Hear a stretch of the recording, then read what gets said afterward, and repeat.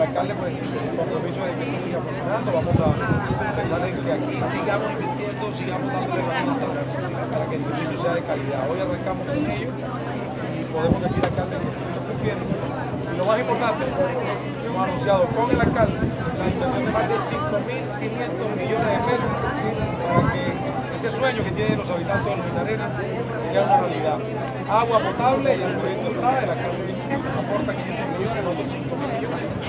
vamos en 2019 con la ejecución de ese proyecto, esperamos que en un año podamos tener la ejecución final de la agua. Así que desde Dominicana, salud y agua. ¡Eso! ¡Eso!